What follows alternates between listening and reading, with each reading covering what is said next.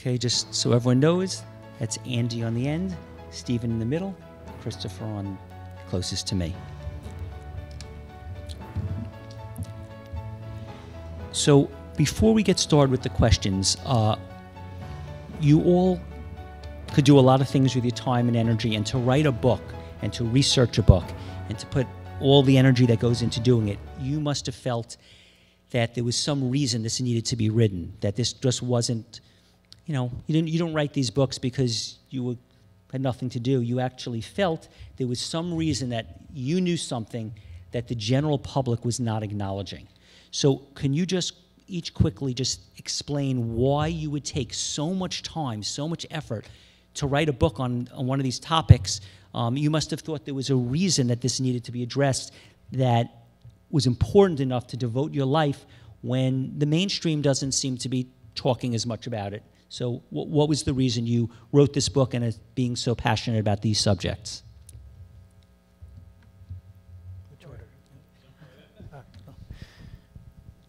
Uh, I don't come from a journalistic background. I come, I'm a, a, college professor, so I see students every day. That's who I interact with.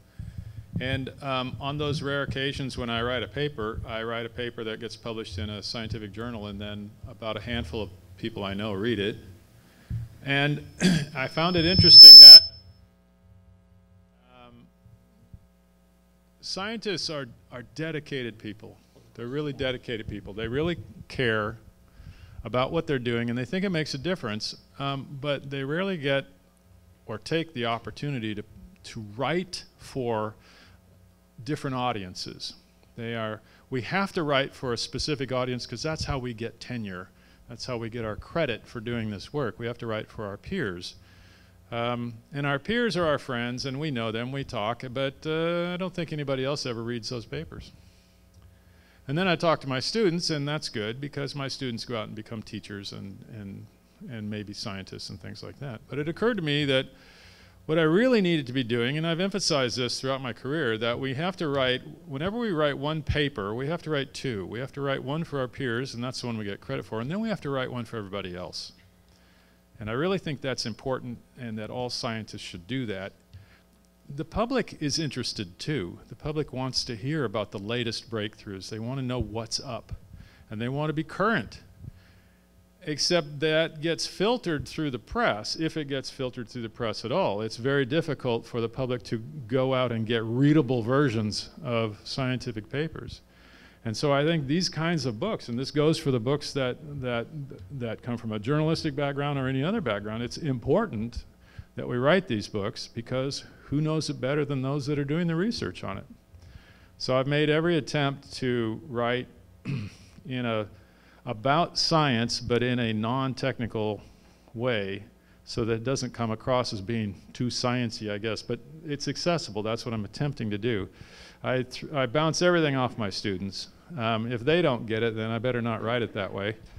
So I do have some feedback that way on, on what I write. But my intent is to try to make science accessible. And I think it's very important that if if I have a different way of seeing it, I come from more of the ecology and evolutionary biology background, and I think that understanding those principles will help others understand the topics better, then maybe that's the best way for me to approach it because I can, I can use the language, but use the language in a way that, that everybody can understand. So that's what I'm attempting to do. Um, and I hope if you read my book, you feel the same way. But um, what I've heard so far is I did all right.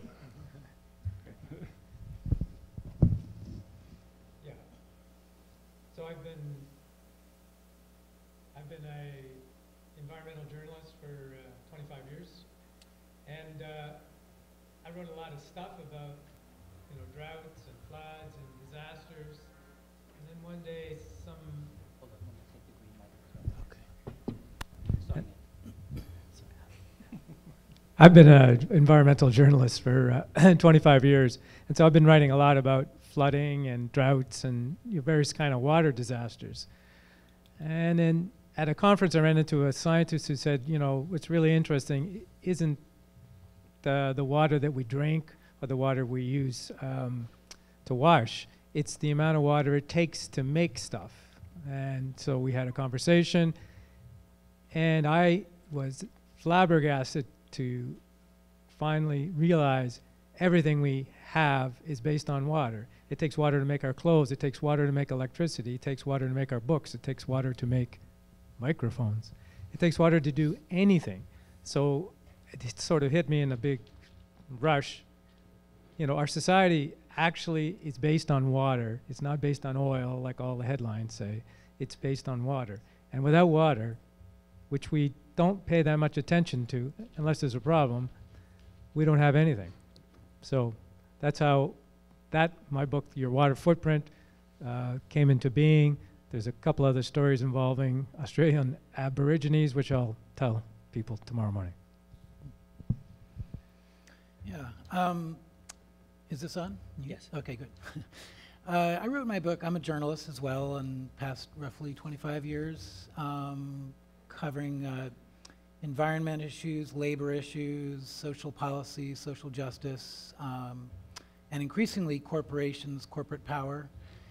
And I wrote my book partially because I felt like I needed to make sense out of all the madness I was seeing um, when I was covering all these individual stories. And you know, you know, you don't get enough space, even in a magazine article, to really get to the bottom of something.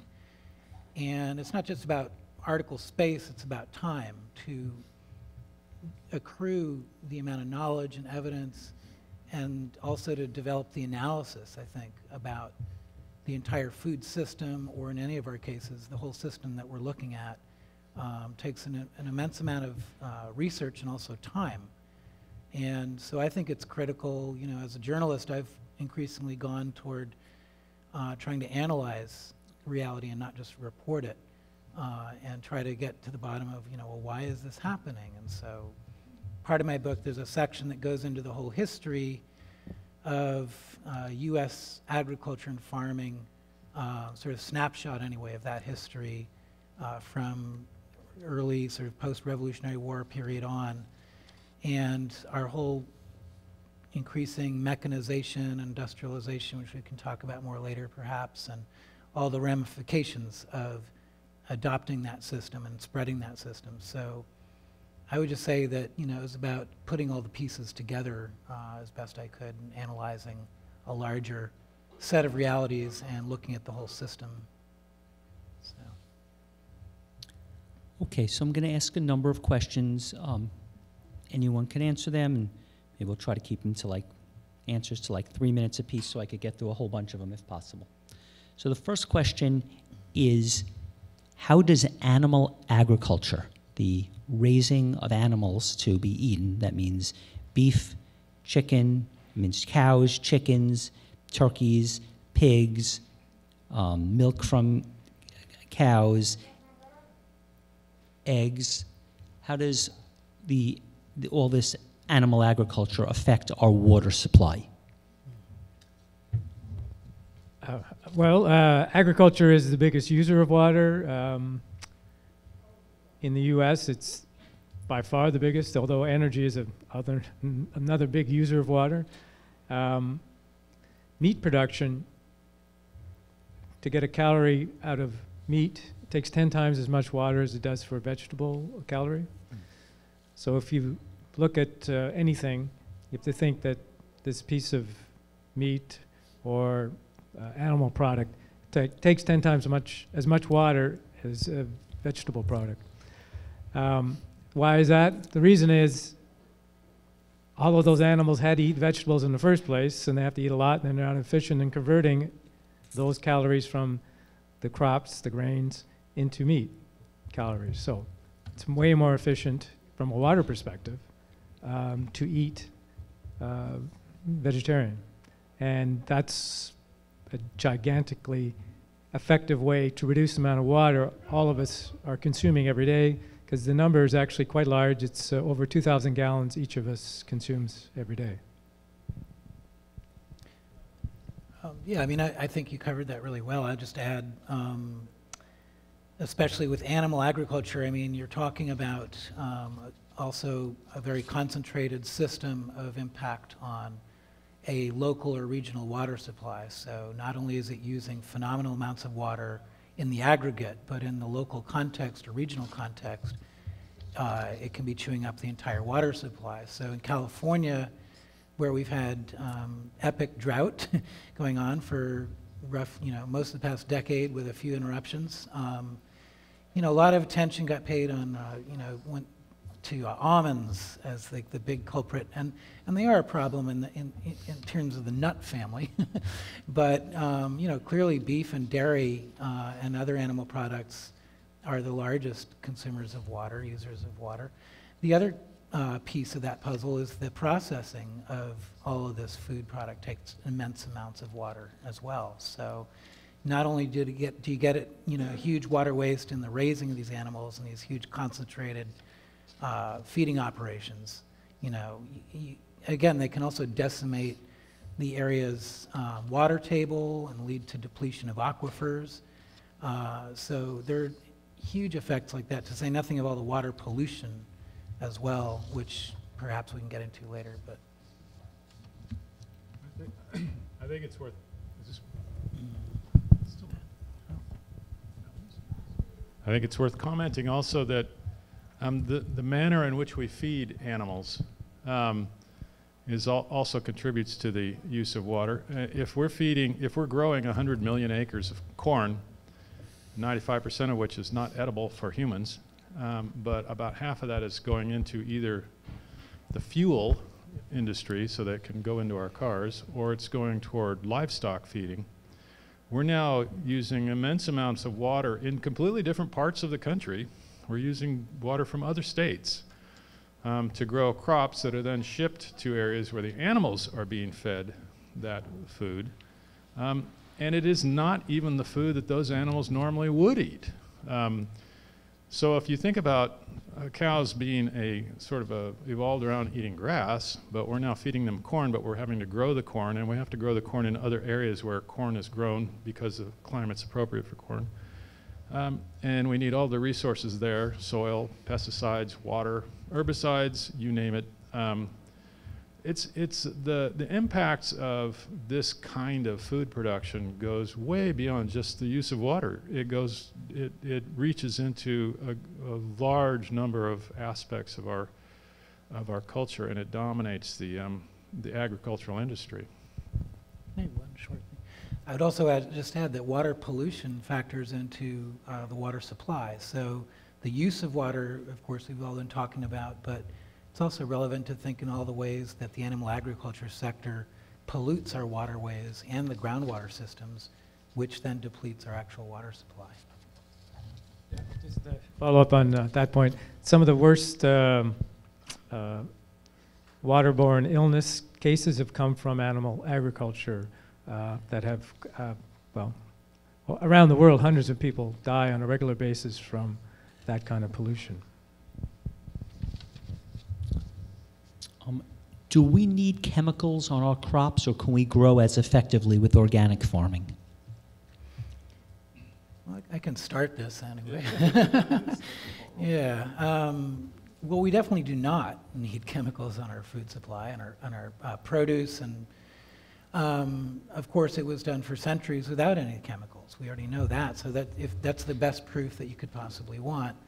Um, you know, it, we also don't need chemicals to feed a starving world uh, because as study after study shows, we have more than enough food to feed the planet right now on a cal- caloric basis, a protein basis. Um, you know, the issue is distribution and access to all different kinds of factors land, market, credit, water, um, all those pieces. So we absolutely do not. Um, study after study has also shown that uh, organic production can be done quite effectively and efficiently on a per acre basis. It can be at least as productive, not more productive than. Uh, I will not call it conventional, I'll call it non-organic industrial agriculture. Uh, agroecology as well, uh, which goes beyond organic to include various uh, very time-tested methods of uh, treatment of soil, organic treatment of soil, but also uh, diversified crop rotations is another another area where like people do intercropping and other things that produce incredible amounts of food on small plots of land. So it's more than possible. Do we need chemicals? I think when you ask that question, my, my immediate response is um, why don't we step back just one step and take a look at why do we, are we in the situation where we're asking that question? Um, as Chris just alluded to, when you have intercropping systems and polyculture systems, uh, mixed crops, uh, small crops, and rotational crop systems, one of the things that's included in those systems is the rest, not the, all of the biodiversity, but a great deal of other biodiversity is also present. And a lot of that biodiversity includes beneficial insects and beneficial organisms. And they tend to have a top down effect on pest problems. That is, they are the controllers of the pest problems. And so when we take a look at a situation where we feel the need to apply chemicals, apparently we're in a situation where something has been lost from that system that has allowed one of the elements of the system to get out of control. Typically, it's a predator is missing, and so eh, I think it's worthwhile to step back and say, if you're asking that question, there are some other questions you also need to ask in that situation. And that is, what have you done with the the other organisms that were part of this system that were helping you up to this point, something must have happened. Now, aside from that, if you do find yourself in that, in that situation where you're considering using a technological tool to deal with a biological problem, you also have to acknowledge the fact that this has to be a temporary remedy because technological tools don't last very long, they always fail because biological systems will always overcome them. And so, at best, if you're going to use chemicals, you have to have it in your mind that this has to be a temporary solution. Because if you start relying on technological tools as your answer to these problems, you get on that treadmill and you can't get off because you start doing increasing amounts of damage to the environment, and then it gets to the point where it cannot respond when you need it to respond, and it can't recover easily when you want it to recover.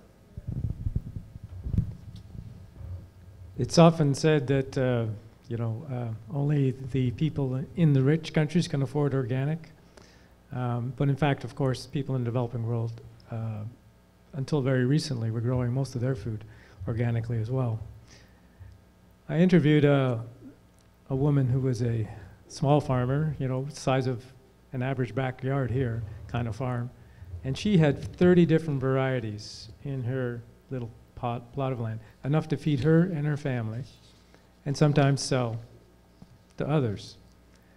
Her plot of land, which was part of a, a study done, um, was more productive in terms of the total volume of food that she produced. It was also more resilient when it was too dry and too hot, where other farmers were in trouble. She was doing fine. One of her crops, you know, she had different types you know, she says this one likes the hot, the heat. This one, you know, likes it when it's cooler. So I plant both, just in case. So that type of agriculture is a lot more resilient to uh, conditions that change, as we are seeing more and more often with climate change. The technological uh, solution we've taken, which is a uh, sort of a simplistic approach with monocultures, is much more vulnerable to these changes. So the difference really is organic is a knowledge intensive form of farming. You have to know more about your land, you have to know more about the ecology, you have to understand plants and insects. And that's something we've lost, and we need to get it back.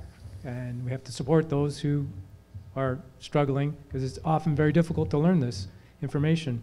Many universities don't even teach organic agriculture. So Thanks. Do we have time for a quick addition? Um, okay. Or, go ahead. Okay. Um, why is the United States experiencing pest resistance problems that are unparalleled in magnitude anywhere else in the world? Why? Hold it close to your mouth. Hold it close to your mouth. Why? Um, the last estimate I saw was on the um, number of the dollar figure for chemicals sold around the world, uh, agricultural chemicals, $40 billion, of which I think $23 billion is spent in the United States. We represent 4.5% of the world's population. We use, what is that, 60% of the world's chemicals. to grow our crops, and yet we're the most advanced country in the world, aren't we? Um, so either we're doing it completely wrong, or we're doing it right, and we're not um, we're not advertising that very well, I think. Um, we have taken, and, and I'm sure there's going to be some support for this statement, we have taken the path toward food production of intensification, uh, and we have not looked back in the last 70 years or so. We are going to try to increase production, uh, take over control of food production from nature, and turn it into a system, a process uh, in which we manage all of the variables, right? Um, and if in so doing it requires untold amounts of fertilizers and, and pesticides to do that, then that may just be the cost of doing business. Unfortunately, it's absolutely a dead end. Uh, it's unsustainable. It's doing incredible damage to our environment. It's even damaging the actual the basis for food production itself, which is soil, uh, to the point where soil is often not really alive anymore. And then that process has forced us into the greenhouse and into hydroponics and into as many other ways as we can think of to grow a plant without relying on nature. And so, why we are so dependent on chemicals um, in this country and for our agricultural system is because we have taken a headlong dash into the world of technological marvelousness, and we are going to do it that way um, with more or less complete regard for all traditional systems and for the evolutionary biology of plants themselves and for um, any sort of recognition of how ecosystems actually work to produce biomass in this world. Um, I'm going to turn it over to either of the other two who want to comment on that, but uh, we have put ourselves in this situation, and I think it's up to us to get ourselves out of this situation. Uh, yeah, no, absolutely. Um, I mean, I think that you can't really separate the issues of pesticides and other chemicals used in our food supply from, for instance, USDA agriculture system policy, which for decades and decades now has both subsidized uh, this kind of consolidated farming. Uh, I would say not only intensive agriculture, but extensive agriculture, if you think of it in a horizontal sense of just land ownership and scale of farm production. You know, the other thing is we subsidize, you know, some very water intensive crops. So, you know, corn and soy, not as bad as beef, but it's, you know, the corn and soy is used for beef. So it's like you can almost get a double whammy there with that set of subsidies. Um, you know, there's been a policy for decades going back uh, to the early post-war, post-Second World War period of calling it fence row to fence row planting and get bigger, get back, get out was uh, Richard Nixon's ag secretary's mantra. Was just get bigger, get out. And so, you know, these, these things go part and parcel together. Um, certainly the pesticide and petrochemical industry is a powerful force in American politics uh, in terms of protecting their interests.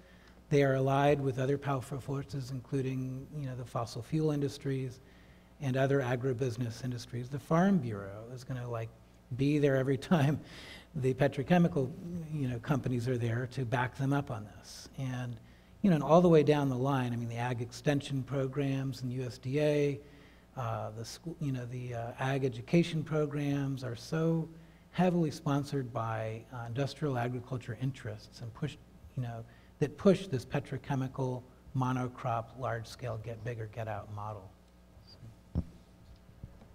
Yeah, it's called uh, industrial agriculture for a reason because the whole mindset is uh, machines. We are putting green machines into this green dirt, or machine dirt that holds up the plant. And then we just put machine parts to make it do whatever we want it to do. So that sort of machine mentality is kind of where we've come from and where what's getting us into trouble. And that, of course, doesn't apply to living things. You can't treat uh, living things as machines. It's just like if you treated your partner as a machine, it wouldn't be a very long relationship. So, uh, Andrew, in your book, Chasing the Red Queen, you are making the argument that uh, since World War II, we've been applying these industrial chemicals and that the plants or the bugs or the things we're trying to kill have been adapting. So it's 2018. Where are we in the race? Are the chemicals still ahead of the bugs? Are the bugs about to catch up? And like, you know, because it's still, there's still plenty of food when I go to the supermarket. So it seems like we're still getting food.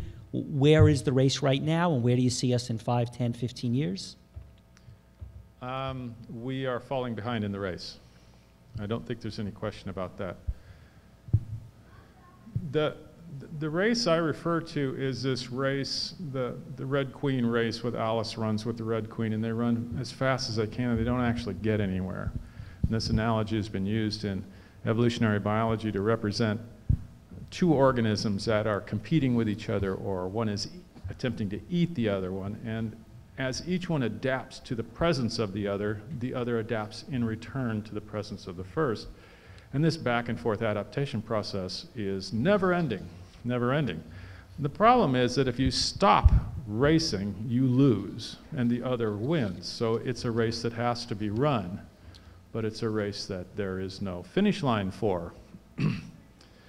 when we started using pesticides in the late 1940s, it was only a few years, and the first word was DDT, the first terrestrial pesticide, that we really started applying uh, on a large scale. It was, it was clear within just a few years that insect resistance was on the rise uh, very quickly. Um, and after seven, eight years, uh, DDT was largely ineffective in many areas where it had been widely applied. And our response to that should have been that was probably not a good idea. We need to go back to some other system. But our, our, our, what we did instead was we thought we'll just make better chemicals because that one clearly wasn't good enough, which is a tough thing to say about DDT. That's about as good as it gets when it comes to killing uh, insects. They don't come a lot better than that. And we thought we'll just make better ones or, or chemicals that can hit them harder, you know the, the, emergence of pest resistance was really obvious, and we knew what just happened, but we turned our back on that information and we just forged ahead anyway. And now here we are in 2018. There are some 30 different categories of herbicides called modes of action, MOAs. There are about 30 insecticide categories. We've got hundreds and hundreds of chemicals in those different categories. We have one pest, the green peach aphid, which is the smallest, squishiest, softest, least defended bug you will ever find. And it is resistant to 75 different chemicals. You can't kill that thing with chemicals. You can kill it with your thumb, but you can't kill it with a chemical.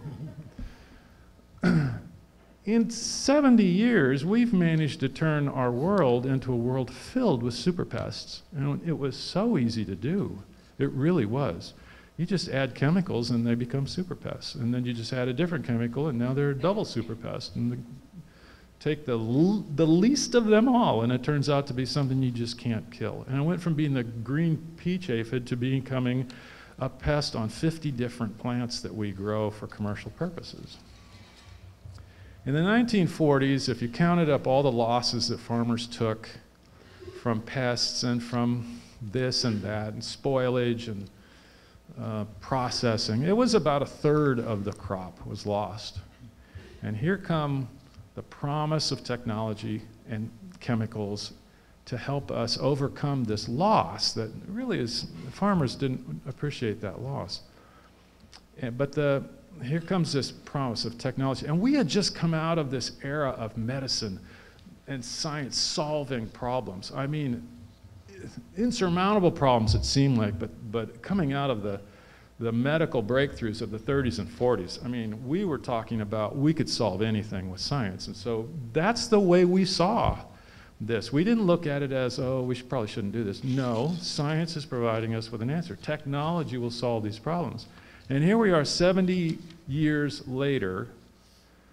Farmers are addicted to chemicals. The soil is nearly dead. We're having problems with water pollution, air pollution, depletion of resources, loss of biodiversity, you name it, you know, you know the story.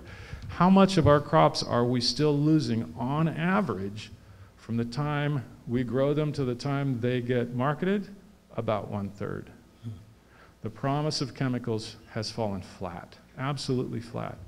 The amount of damage we've done in the meantime is impressive. Um, and it's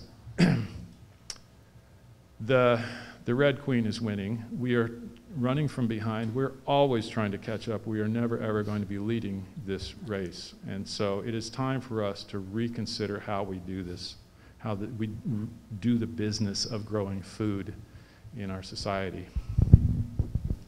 Just a quick anecdote. Uh, back in the days uh, when GMOs were first coming out, I interviewed some of the um, Monsanto scientists, the research scientists who developed this stuff um, in St. Louis. And I asked them, I said, okay, so everything's going to be doused in Roundup, but aren't the weeds going to, you know, evolve resistance? They went, yeah, but we'll come up with something else. I would just add on a, on a different note, um, this is all reflective of human society's um, pattern of trying to dominate nature, conquer nature in every respect. And it's a failed model. I mean, we find it over and over again, and we're finding it in the biggest way possible now as nature rebels against all of the pollution and toxins we've put into it. Um, you know, obviously way before climate change, but now this is the, the big one where, where nature is, is saying, no, you know, you've put way too much of this junk into the environment and it's just not, you know, it's not going to work. And, you know, so we're, we're, we're not learning this lesson um, that on every single level, it seems, that nature comes up with its form of resistance to uh, our innovations and our technologies. Um, so I would just add that to the picture. So, based on what you're saying, you're saying that um, we're spraying these chemicals on crops and they're becoming resistant, so it's getting harder to grow these crops because the bugs are getting them because the chemicals aren't working as well because we've they're adapting.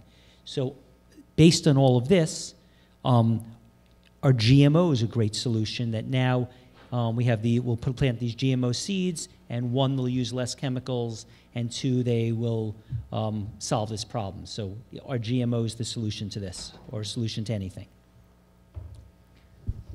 No. um,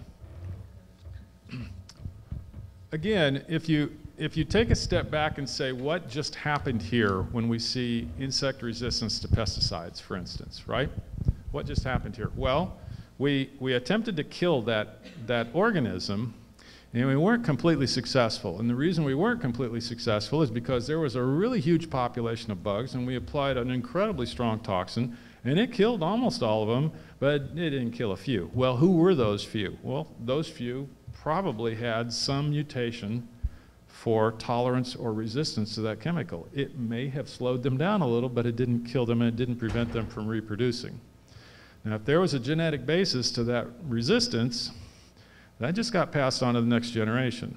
Except that we wiped out all of the competition that bug had and we just handed them the keys to the kingdom.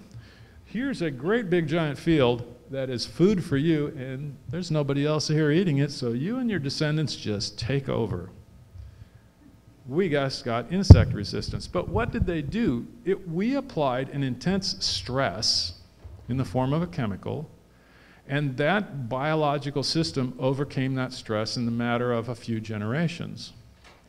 If we take that chemical, let's say BT, BT used to be in a powdered form that was sprayed onto plants like grapevines where I grew up to kill something called the leaf skeletonizer. And the caterpillars would eat that and they'd stop eating and they'd get really sluggish and then they'd die.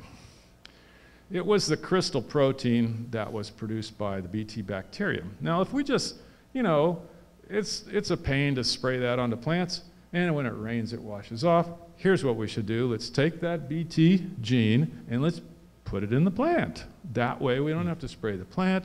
It's already in the plant. Anything that eats the plant will die. And actually, we don't have to use as many pesticides and chemicals anymore because the plant's making that. Let's step back. What did we just do? We took the chemical stress that was being used to kill the insect and we put it inside the plant. Did we change it? No, it's still a chemical stress. What will be the response? The response will be to overcome any stress in the environment. It will kill any of the organisms out there that are susceptible to it. And the ones that don't die, those are the ones that are resistant. Just by moving the chemical from outside to inside doesn't change the rules of the game whatsoever. The result will always be the same, and it's always very predictable. Biotech is not a change to the rules of the game. It just moves where you put the chemical stress. That's all it does. Yeah, just a quick uh, back to my Monsanto days. Uh, yeah, so genetic engineering was the original name uh, of all this stuff, but it's not very.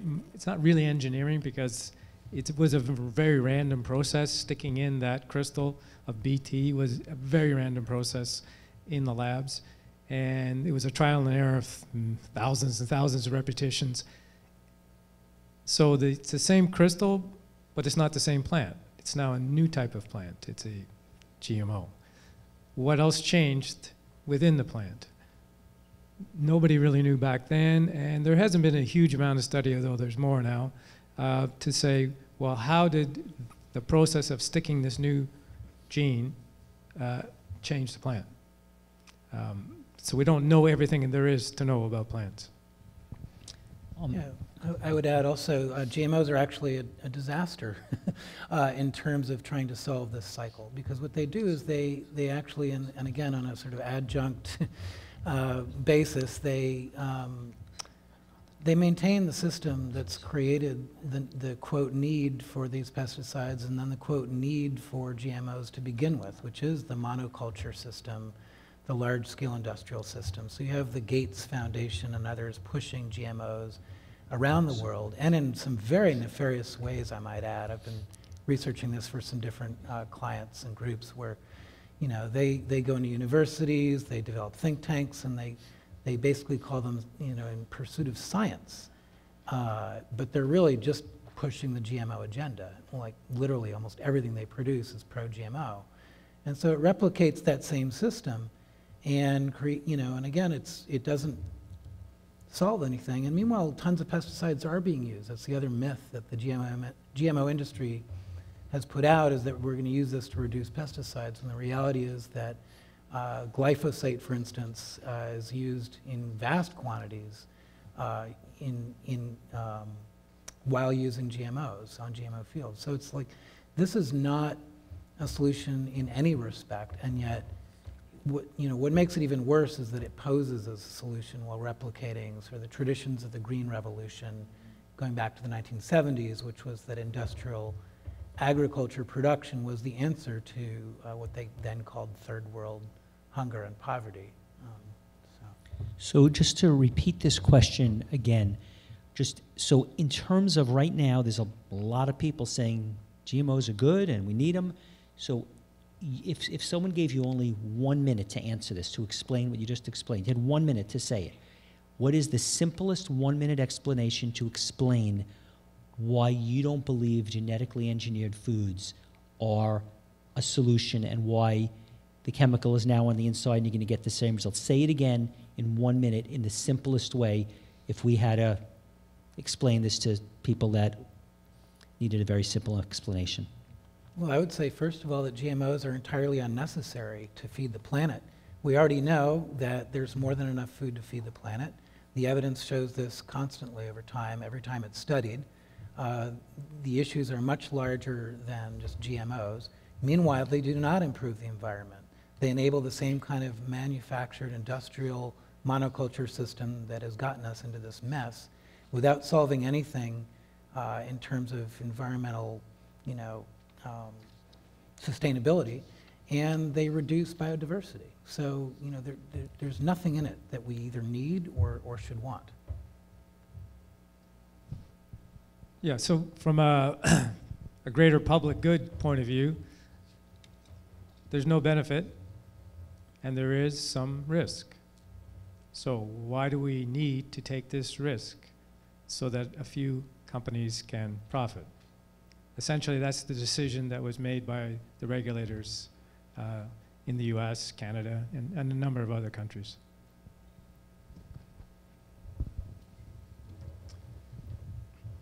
They'll fail every time. They will fail. Then they'll be very expensive while they do it, and, and genetic biodiversity, genetic diversity is, is reduced to one. We go from having all the diversity necessary for our plants and animals to survive, we reduce it to one. Every plant in the field is a clone, essentially, of every other. There's one plant out there, just one. If anything bad were to happen, if there was a fungus, a bacteria, a disease of any kind, the entire crop is lost. Entire crop. That is the most inflexible, fragile.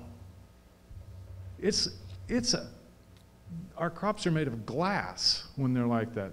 We are setting ourselves up for failure with biotech. We're not improving the situation, we're making it far, far worse. We're, we're creating a situation where failure is almost imminent by doing that to genetic diversity within our crop species. What's, what's the time frame you see before it becomes obvious that that's what happened? Is this, are we a year or two away? Are we a decade away?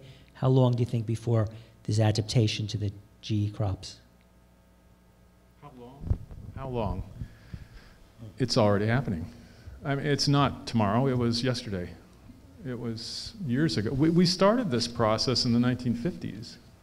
Um, in 1951, um, a man named Harold Painter at Kansas State wrote a book called Insect Resistance in Crop Plants. It's a fascinating little book because it was at the very beginning of the DDT revolution. And he said that the plants themselves can resist the crops. We need to focus on the ability of the crop plants to resist pests. The genetic diversity within the crops enables them to do this. And I think the, it's an old little book, very hard to find, but it's fascinating reading because in 1951 he was saying this. He was looking at, and he was referring to pesticides at the time too. He was well aware of what they were doing. We turned in about a 180 degree direction and ran as fast as we could the other direction. We started the process of killing agriculture about then, of putting us on this pathway that we are now starting to realize is really coming back to haunt us. The process began years ago. It's not that suddenly things are going to crash, it's that pieces of the puzzle are being lost. We're, they're falling away, and we're left with less and less to work with. And the biotech example is a good example of one where if we go that direction, we're just completely uh, jumping into that pond. We are throwing away um, pieces of the puzzle in order to get there. We're doing it intentionally. So um, I can't, there's no answer to that question when it's going to happen. It uh, is, is happening now. And we need to recognize that and we need to stop doing it. Yeah, I would- I would just add to that, I mean, it's true, we've been losing seed diversity and plant diversity for decades, so this isn't a new phenomenon yet, it's a new iteration of a long-standing trend of winnowing out, you know, humans actually on an industrial basis winnowing out the wonderful natural diversity that our food system provides us. And so in a whole range of ways, from super weeds to pest resistance and super bugs to um, a radically diminished diversity of seeds and seed varieties and therefore crop varieties. Um, we're already seeing the ramifications of that. And we should keep in mind that, you know, losing crop varieties also means it's, it's an ecosystem issue as well as just a, new, you know, a, a dietary issue, you know, or a food enjoyment issue. It's like we're losing the different mechanisms that those other crops and varieties provide in terms of dealing with pests and you know, nutrifying the soil. So, um, yeah, so those are huge ecosystem and biodiversity issues as well. So going forward in the next 20 years, um, a lot of people talk about a lot of things, but where I live, running out of food to most people doesn't seem, you know, Whole Foods market has got, the supermarkets are flooded with every variety of everything. So wh- what is your, I mean, wh- what's, so how, if we're saying we got all these problems that are going to affect us in 50, 75 years, a lot of people are going to shrug. how imminent is it that all these different things will actually reach us and affect us? Because as long as, you know, if someone has a bad crop, we get from somewhere else. So to most people, they're saying, yeah, so you don't grow corn there, you get it from somewhere else. They don't really see food um, for any country as being an issue. Um, so what, what do you see as the most, I don't know, imminent problems and when are we likely to start noticing them or ha- have it affect us? Or is this something that's really a far in the future issue in terms of us affecting us here in Long Island? Um, I'll take a global take on this. So, what happens is America's a rich country. You will be able to buy food in 20 years. The quality might not be as good, it'll certainly be more expensive. But the real impact is a lot of other people in the rest of the world are going to go hungry because we can afford to buy it. It's going to come here. They can't afford to buy it. They're going to go hungry and they're going to move because you know there's no future in staying on a land where you can't grow enough food to feed yourselves uh, and your family. So you're going to move. So that's the sort of bigger picture. Yeah, I would, uh, I would add to that, um, you know, if, if people are not uh, motivated by other people's suffering and deprivation, um, they can think about the connections between that suffering and deprivation and their own lives in terms of, uh, well, for one thing, costs. Um, the costs of the global and U.S. food system of uh, hunger and malnutrition and malnourishment and again, you know, so many people who don't have access to good health care, you know, the public ends up bearing a good portion of that cost in the end. Not the real suffering, but the cost afterwards financially.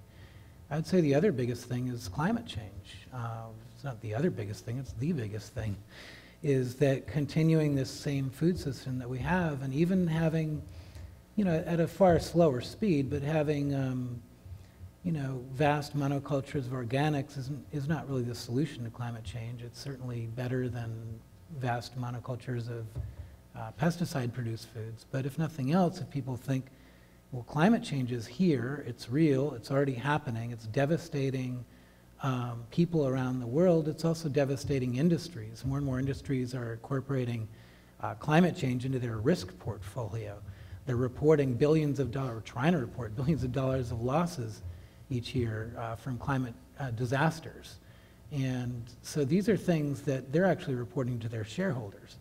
Um, so we should take notice of that as well. You know, so these are factors that cost on all sorts of levels, societal levels, human levels, and business levels even. And, and those are costs we're all going to be bearing. And it's going to happen, it is happening and will continue happening more rapidly and intensely to the extent that we do not uh, overhaul the single biggest factor to climate change, which is food production, namely industrial food production and livestock and deforestation, those factors. Um, so if we don't overhaul that, then we're just going to get there that much faster. I think it's important for us to be aware of where our food comes from, and then perhaps we can make choices that will help affect that change. There's no question that big corporations respond to consumer choices. Um, they're providing us options in our food, and we're accepting those options. But if we choose to accept other options or not accept what they're offering, they will listen. Um, I don't know how long ago it was, but in January, if I tried to buy grapes at my supermarket, I would have been told, well, grapes are out of season. You can't have grapes in January and February. I can now because they come from Peru, Chile, and South Africa, and they're in the supermarket right now. But that means, as Lester Brown and Bob Glennon have pointed out, and World Watch Institute and, and Bob Glennon writes on water issues, um, that we're using somebody else's water. um, we're using someone else's soil. We're using someone else's farmland and only because we want grapes in wintertime. And we don't need grapes in the wintertime. Uh, we need to be aware of what, what it is to be uh, um, a reasonable and realistic consumer and, and, and And also think about whether or not eating grapes in the wintertime is really even a good choice. Um, we need to use um, that awareness to help bring about change. Because um, I don't think, unfortunately, complaining at the, to the corporate stakeholders is really the, the going to get anything done. When, when Congress could not pass a law, th tried three times if I recall, pass a law to stop using chemicals in the poultry industry to produce chickens.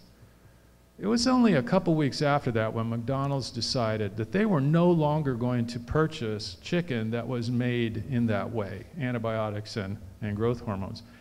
McDonald's can make that decision, but Congress couldn't make that decision. And overnight, overnight, the poultry industry cleaned up its act. Overnight. But McDonald's didn't do that because they love chickens. They did that because people were telling them they didn't want to eat that chicken. They wanted to eat clean chicken. So it really is, I think, incumbent on us to, to help people understand what it means to be uh, a responsible consumer of food and to help draw that attention to the people who produce the food. And when I say people, I mean corporations, but um, because I think that's the way we're going to get things changed. Um, we've been speaking about how pests are adapting to chemicals and how this is a, a problem. Um, Stephen, you wrote a whole book on water. Um, again, a lot of us hear things about water, and we hear California has some droughts, but you know, it still seems like there's showers are free, and it seems like there's plenty of water.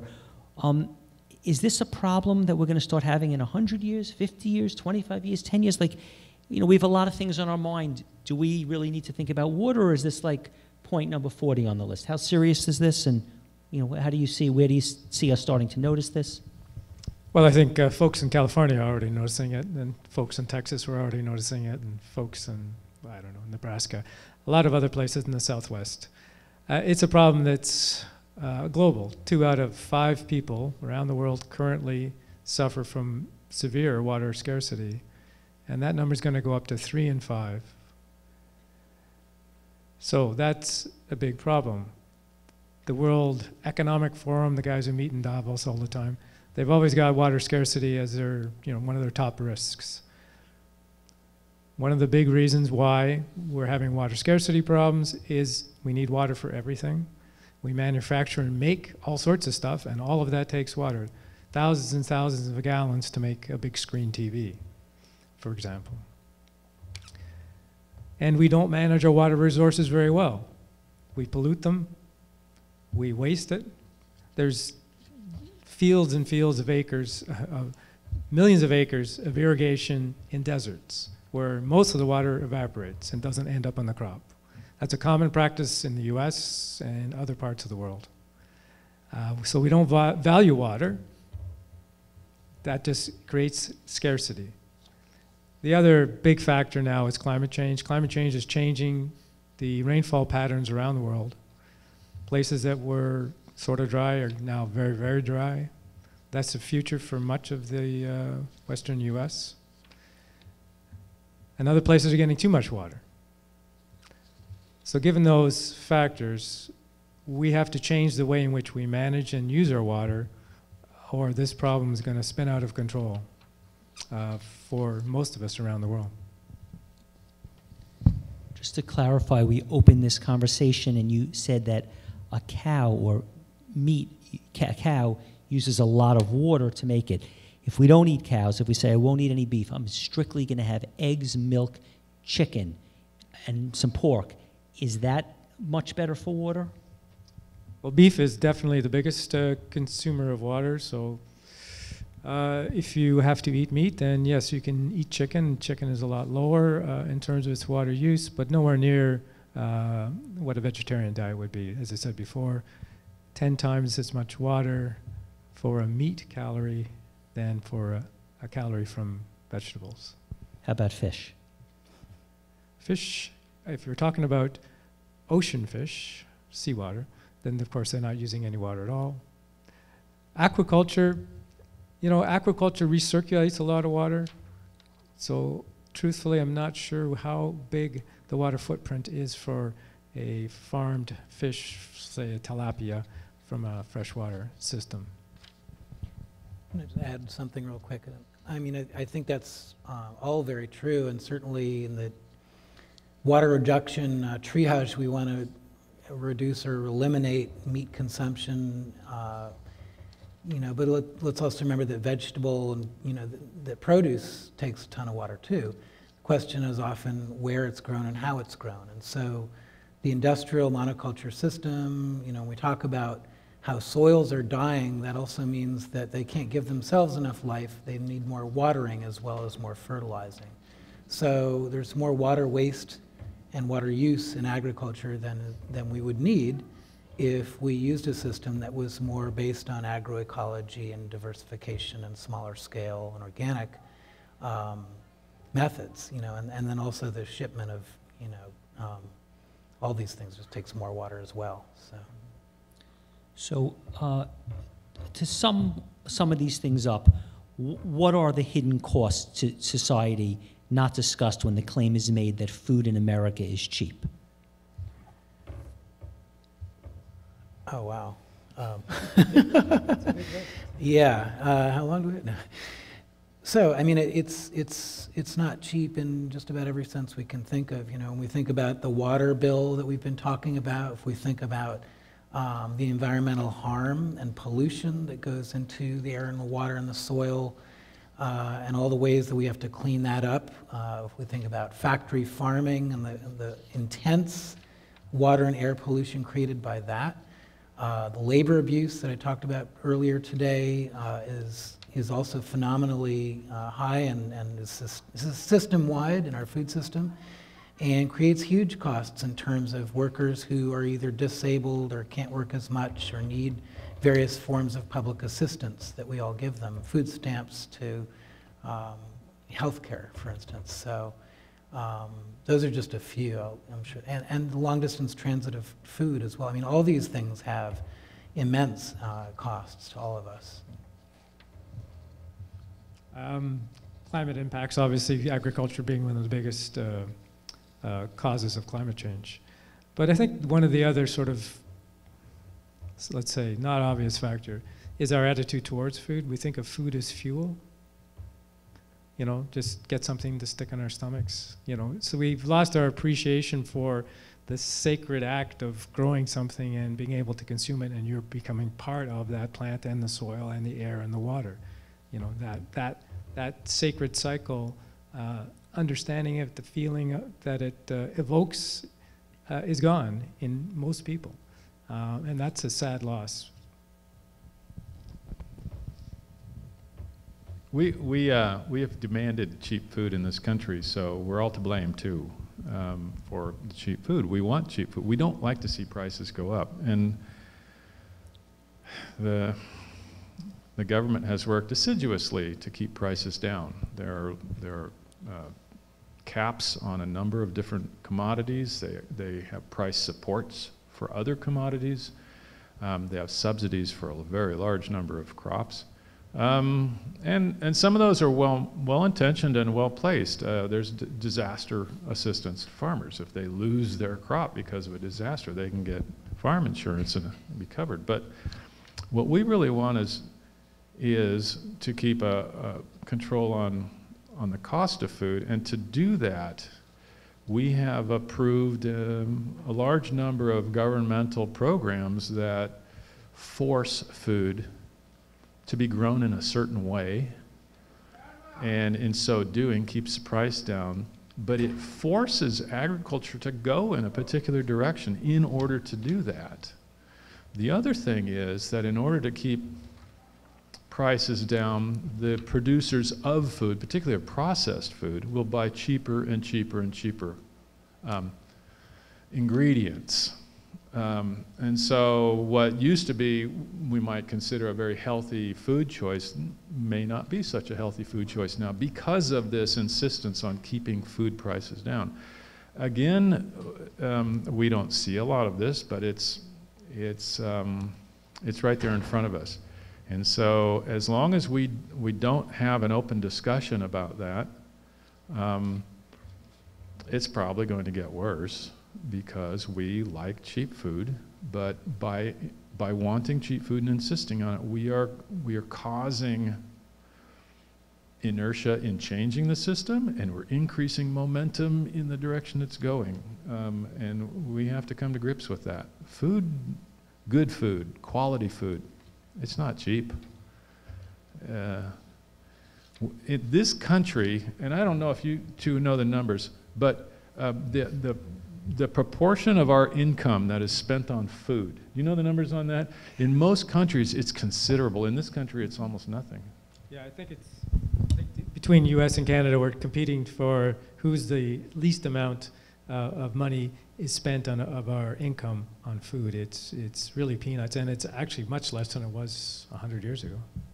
Right, yeah, Europe spends far more than we do on, on their food. Um, the one other thing, oops, sorry. um, yeah, I mean, I just think that I, um, you know what, I lost my train of thought. I'm going to pass it back to you. Okay. Happens, right? Given the growing number of herbicide and insecticide resistant species that farmers must contend with, one could reasonably ask why do farmers continue to use chemicals?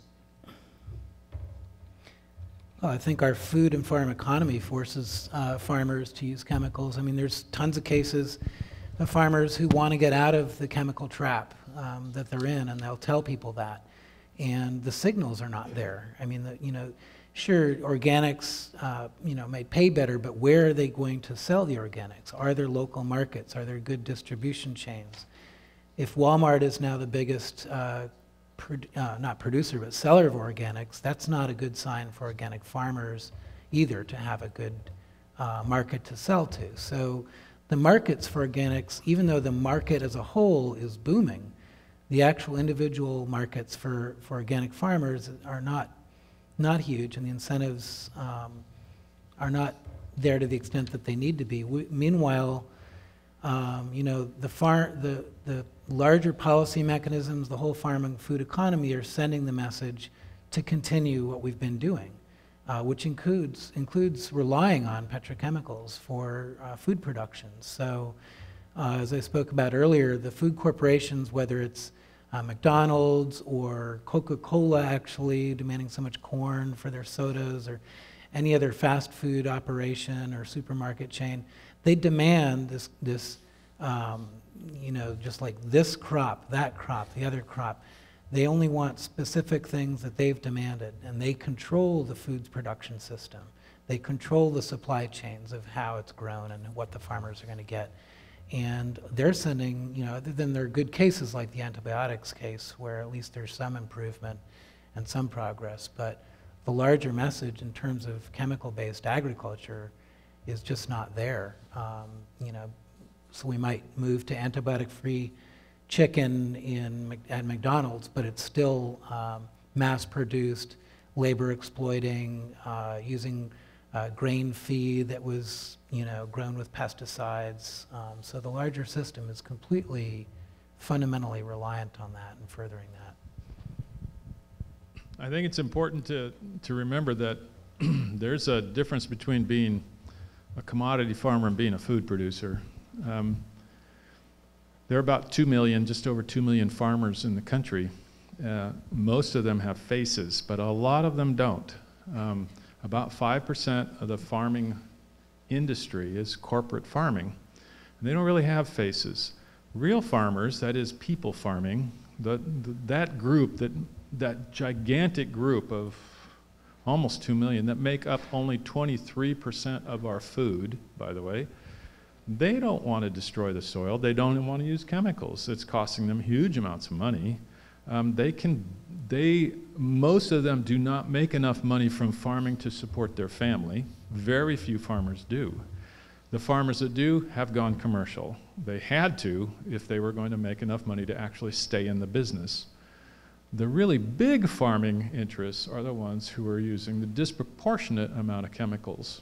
Um, and they're growing commodity crops. They're growing vast acreages of monoculture corn and soy and wheat and cotton and canola and a few others. So we do have to distinguish between who these, who these entities are.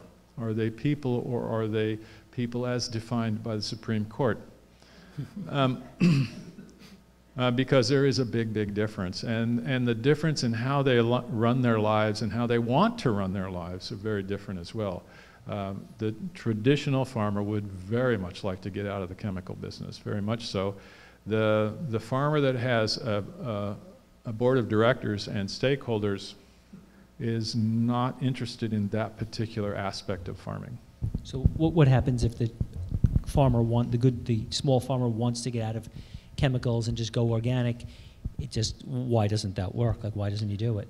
I, it has a lot to do with the supply chain, uh, as Chris alluded, but Um, yeah, I've interviewed a, quite a few farmers who've made the switch, and some that wanted to make the switch but couldn't do it.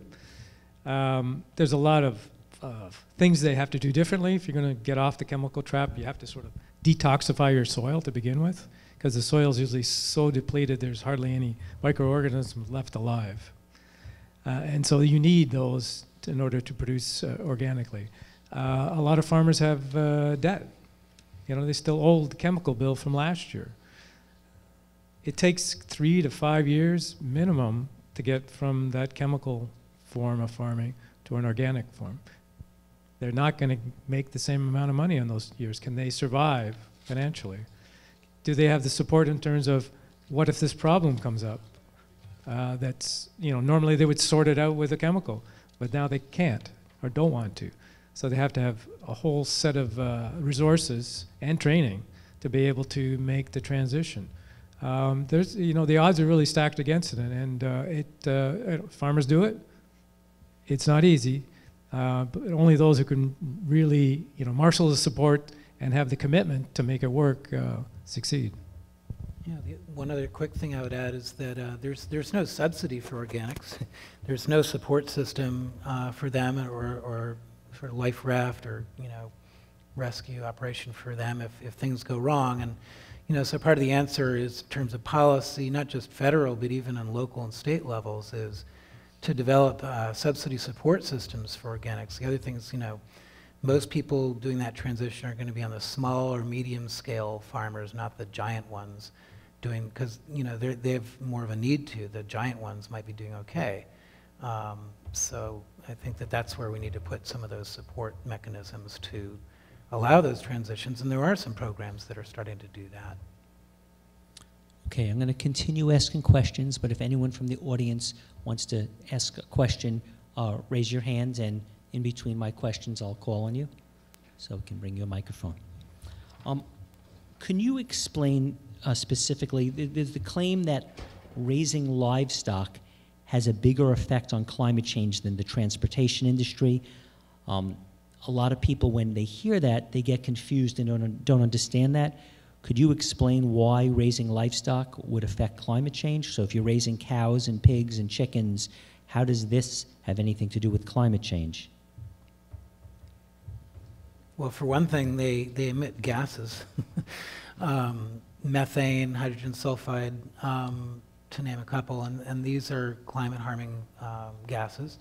And it may sound minuscule on a you know individual cow level, but we're talking about a national and global system where we're talking about millions and millions of cows and pigs and chickens, tens of billions, um, billions in fact. Um, so I'm starting to sound like Carl Sagan here, but uh, but it's true. I mean, there's billions of these animals being harvested and produced in these viciously inhumane ways and consolidated uh, parts of the earth. We're seeing ozone depletion happening, and so much of this is because of the gases they produce and the waste that they produce. That is again in these super concentrated um, lagoons, for instance, that are extremely toxic. Um, so that's that's a huge part of the reason. The other another key piece is that they are a key factor in uh, global deforestation. So the spread of uh, livestock, industrial livestock operations in, say, Brazil and other places involves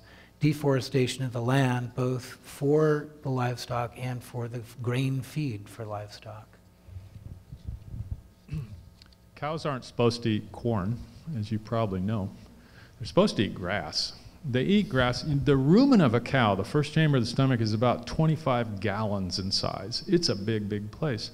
It's a gigantic fermentation vat. And yes, it does generate some gases. Um, most of it's water and plants, and they, you know, they cough it up and they chew it again. They chew their cud and they make it smaller and smaller until it goes passes through into the next chamber of the stomach. That's not what cows eat in feedlots. Um, they, they eat a little bit of grass first few months of their lives, but they spend the last three months of their lives eating 30 pounds of corn a day, or corn products, corn derivatives, a number of different things. and the thing about a cow's stomach is that it's a giant vat of bacteria. The cows don't actually eat grass, and they don't even get anything from the grass. The grass goes in there and feeds bacteria. The bacteria break down the cells, they take the nitrogen out, that's for the bacteria, and then they slowly sort of work on the grass and break it down a little bit as well. And the cow poops most of it out, uh, the grass part, because it's not really digestible. But when you feed a cow, you're feeding the bacteria. Now, if you go over to a feedlot, they're being fed 30 pounds of corn a day. No, the cow's not getting that corn. The bacteria are getting that corn. You're feeding, and by the way, an entirely different assemblage of bacteria because that's different bacteria now that eat corn. And that's all starch. And starch is very digestible, breaks down very quickly, and breaks down quite often incompletely. And one of the incomplete products of digestive uh, metabolism is methane. CO2 is the other. Of course, that's complete digestion. Methane is an incomplete form of digestion. And they produce vast quantities, vast quantities of methane and carbon dioxide from the food we give the bacteria. The cow is just where the food is. The cow's not doing that. But the cow has to unload that gas. It's either belching it or it's coming out the other end, but it's got to come out or the cow will literally explode. It is, um, they have a foaming problem too that prevents them from doing that. That'll kill a cow pretty quickly. But the problem with feedlots in our modern agriculture is we're feeding them the ingredients for climate change. They wouldn't produce those kinds of gases in those quantities if they were being fed grass. So it's not just cows, it's how we grow cows that does it. Just a quick point about methane. So methane is a super greenhouse gas, um, 30 times more potent than CO2, um, in fact, the new science says it's really like 105 times more potent than CO2. Um, so that's the reason, the other big reason why um, an animal agriculture has a big impact on the climate. Going back to, uh, to the question of what is the immediate experience of the pesticides and insecticides, how it affects us.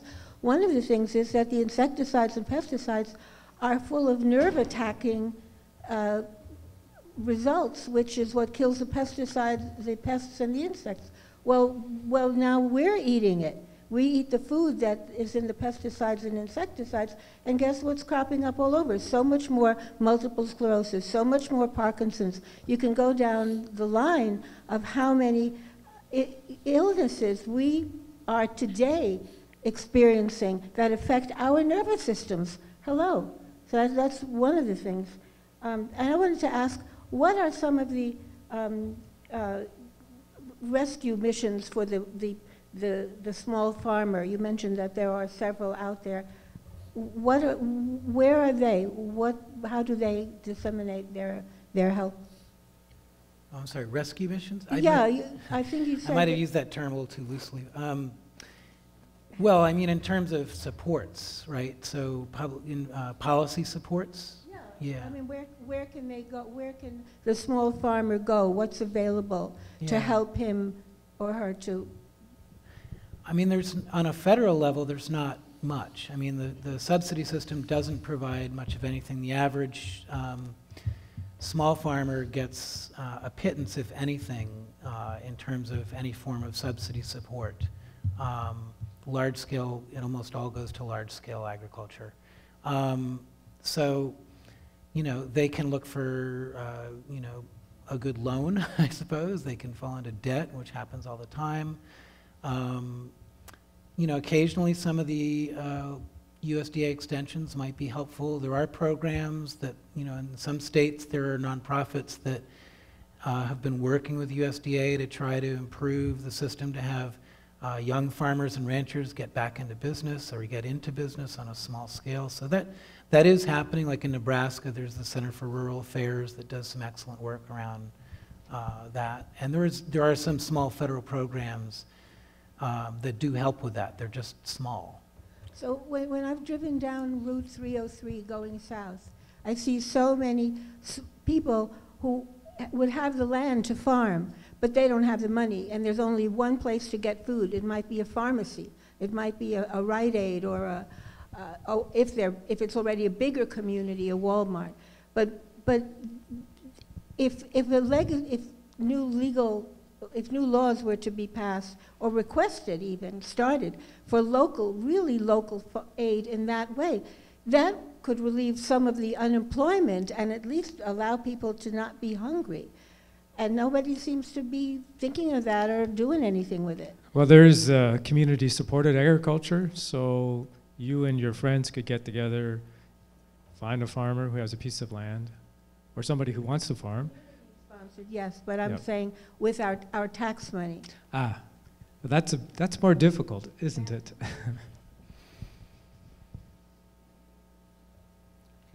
Um, how, Can I, can I add one quick thing? I'm sorry. I, I, I, I did speak about this earlier, but I did think it's really important. I mean, we can't just look at the federal subsidy system. It's so hard to change that. We need to try. But on state and local levels, we can develop food policies that can incentivize uh, small farmers to get back into business. We can have zoning encouragements for those plots of land to be used for agriculture for local markets. So there are ways to actually try to do that on a local and, and state level as well to build that up. um, how does today's farming compare to farming in the past in terms of the damage it does to the soil, and why does that matter?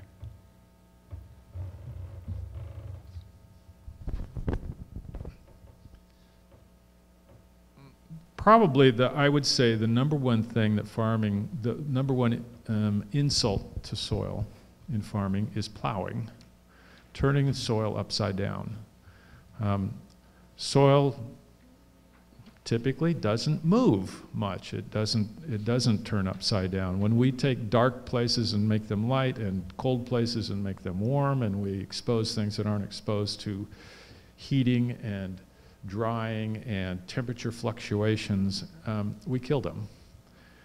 Soil structure is, is really uh, part of the, the activity of fungi and bacteria and the oligosaccharides that they create that tie all the different parts of the soil together. If you look at a really good, healthy soil, about half of it is just air or water, if there's water in it, and about a quarter of it is living, and only about a quarter of it is um, dirt, right? Inorganic dirt, sand, silt, and clay.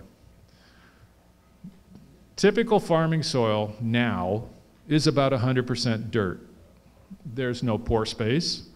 Water doesn't percolate through it very well, and there's almost no living um, organisms in it.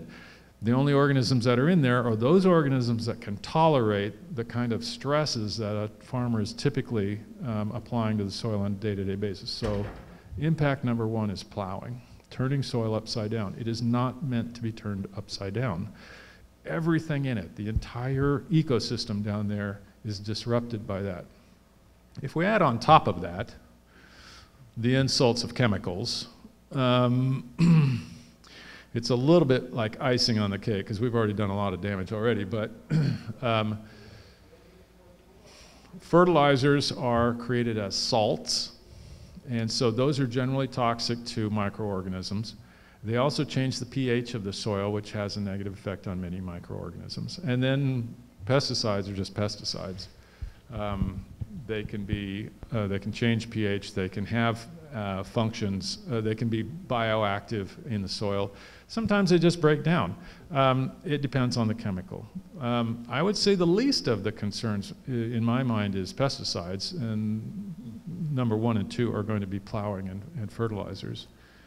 Um, yeah, it, our, our system of agriculture works really well if you're a small farmer and you farm a small patch of land, and then when it gets a little bit distressed, move over to a different patch of land and use that patch of land and let the weeds grow back and the plants grow back, and, and that soil has a chance to rejuvenate. What's happening when it rejuvenates is plants are growing on it, but they're not being taken off of it and it's not being plowed, right? It's not that we're giving it a rest, it's that we're allowing it to be soil again and to reestablish the community while we're disturbing this one over here. That's what's really going on. When we work on very large scales, the soil never gets that opportunity. So instead, we very quickly get to the point where we have to start adding things to the soil. If it's going to behave like soil for us, we have to add those, those different things in, particularly uh, fertilizers and nutrients. Uh, earlier in the, in the seminar uh, pertaining to that uh, most of the corn and soy, over 50% goes to biofuels. Um, and so I was doing some numbers today. Um, in last year's calculations of corn, soy, it would come out to anywhere between 425 gallons to 437 gallons of uh, biofuels being created per acre. Um, I think we're missing the big elephant in the room um, and that is industrial hemp. Um, hemp has 300 gallons of biofuel per acre, but it is at 20% the energy units needed, in other words, to grow uh, and produce. Um, there's this whole cannabis movement going on, but nobody is speaking about hemp as being the remedy for a lot of the problems we're having today. Um, there seems to be a movement for the smokers out there, but there's nothing for the industrial side. Not only do you get the, the, the, the, the seed uh, and everything else, but you also get the rest of the plant and the other 50,000 uses that could be used from that into different industries. So there is a way that these farmers can go ahead and do this, these small scale farmers, but it needs to take us to go ahead and make that change. Your opinions? I, I don't think you're wrong about that. I think you're absolutely right. Um, you know, uh, Lyndon Johnson wanted to do a synthetic fuels program way back when, and it was pointed out to him, and I don't know if he's the one who came to the conclusion, but somebody did in his administration, that it takes more fuel to make synthetic fuel than you get from making synthetic fuel, right? So it's a net loss. If you take a look at, at the amount of energy we get in biofuel out of corn, it's a net loss. We put more energy into it, processing it, growing it, than we get out of it. Um, it's not a very effective way to use our resources. And there are crops out there that would be much better choices than corn and probably less damaging to the environment. Yeah, I would, I would only add that, you know, I mean, in a way, biofuels, ethanol, and others can be seen as an excuse to continue uh, using and overusing uh, two things, you know, corn and cars. um, I mean, it's, it's, there's, you know, there's, you know, it's a way to just maintain the current system and not really address climate change. And it's true that actually, um, the climate footprint of ethanol and other biofuels is negative, not positive. If you factor in uh, processing, the growing of the corn to begin with, uh, or soy, and then um, the shipping of it as well and the processing of it. So, um, you know, I guess also in terms of hemp, I don't, I, you know, I don't know very much about it, but it's obviously a wonder plant in so many different ways that it's so super versatile. And, you know, I think that we need to start to move toward farming and agriculture that um, replenishes natural systems and, and really uses the things we need, not just the things that the market or these, you know, the corporate profiteers at the top are demanding. So that would be part of moving back in that direction of re-diversifying our food and bringing hemp back and bringing other crops back into our systems. So we, we've discussed, we've discussed um, some significant problems with today's food system and the growing of food and all the issues around it. So assume that you guys were given full authority over the food system in the United States and Canada, and you only you three had to be consulted, and you can make any decisions um, but not a philosophy or a theory or a, a discussion. The specific action steps that you, if you were in charge, would make. What would be, you know, what are your 10 steps that you would implement if you had to name them and be very specific? of the policies that you think would be in the highest good of the United States and Canada and the rest of the world in terms of the food system? Oh, thank you very much. Uh, I mean, I have thought about this a lot. Um, I didn't want Canada to play second fiddle, but um, whether we call it a food bill or a farm bill, sustenance bill, um, you know, I would want to see a whole set of policies that reorient our public investments and our subsidies into uh, smaller scale, uh, organic, diversified production, to have massive public investments in uh, revitalizing either, you know, it could be vacant urban lands that could be, you know, put into production uh, to incentivize uh, non-organic industrial farmers to move into organic and diversified production. Again, as, as has been said, it can take time. It's a process, so let's incentivize, let's pay farmers to do that. And let's create the markets for it, and let's expand um, you know, those, those market signals, but let's use the mechanisms of public policy to do that.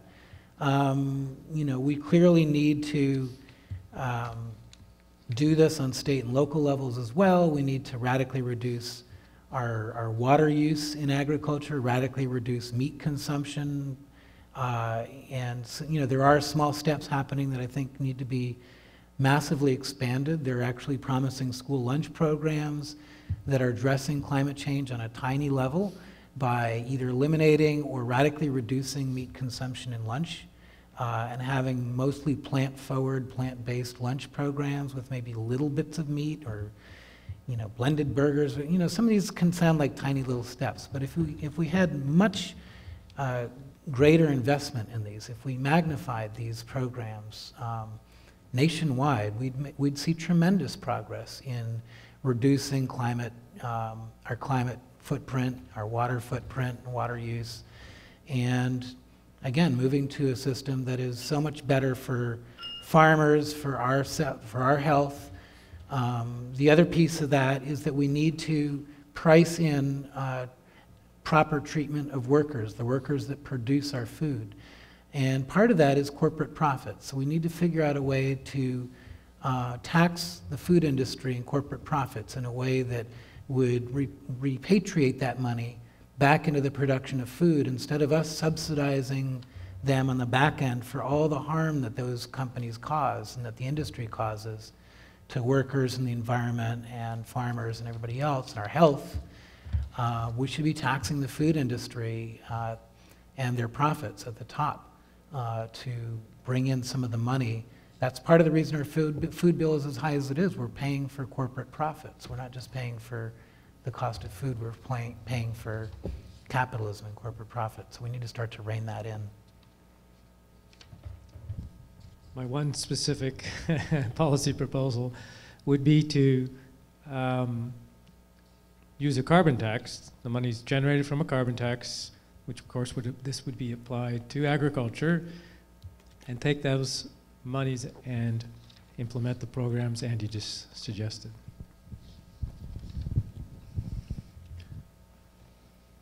I, I think I have one thing also that I would suggest, and that is we have to reward people for being good to the land, for being good land stewards. Um, um, it's very difficult for farmers to take risks. It's very difficult. And so we have to provide a safety net or at least some sort of system where it's acceptable to move into a new market, to move into a, uh, something that's slightly risky, and not to say, well, you know, I'm guaranteed price supports on corn, I guess I'm going to grow corn. Um, that's the way the system is set up now with the farm bill and some of the, uh, the energy bill and things like that. We have to reward reward people who make steps in the directions we want them to go. And I don't know how you do that necessarily, how you would implement that, but that's what I would think.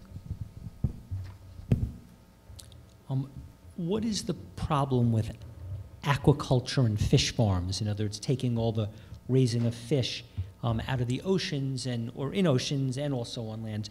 Um, is this a, is this a good solution for food production, having aquaculture both on and off the land? I can speak a little bit. Uh, I've covered this a bit. Um, so it's become a major source of uh, fish protein around the world, uh, aquaculture. Um, in most places, it's done badly. It's had all sorts of uh, impacts on the ocean. It's ended up, uh, there's shrimp aquaculture that ended up clear cutting uh, mangrove coastal areas, which caused all sorts of problems these fish farms, because they're so intensive, have to move every few years because of disease uh, problems with the fish. Also, with the pollution of the the the, uh, the bottom underneath the, the net pens where they're uh, associated. Uh, they, some of these uh, fish escape into the ocean, often the wrong species in the wrong place, and they compete with other. Um, so disease, as I say, also can spread to uh, wild species. So there's a, a lot of problems uh, with aquaculture. On land, I'm not so familiar. It's uh, generally a little bit more contained, but I'm sure there's some problems with that too. If you can always do something, if you're going to do it on an industrial scale, it's likely going to turn out wrong at some point. Stephen, do you know what kind of food they feed um, most um, aquaculture uh, anchovies, isn't it? In, in, in saltwater systems? Yeah, anchovies. In freshwater systems, I think the number one food is corn. I believe, I believe so. I, last I read, I think we've, we're raising about half a million tons of both tilapia and salmon in this country. They're about equal, last I read. And at least the salmon are being fed corn. I think you can feed tilapia anything. Hmm. Um, they're getting animal byproducts too. They do very well on cat food. Um, you can feed them anything, and they're a low quality food, low quality fish. Um, but if you feed fish low quality food, I think you're going to get low quality food in return. So my, my concern with aquaculture is, is how it's being managed in that sense. I do know that uh, large numbers of tobacco farmers in Kentucky and Tennessee, aquaculture has been one of the, one of the forms of food production they have turned to. So it has, it's had some, there, there's definitely some bright sides to it, but, but um, I don't think we're feeding them the highest quality food we can get.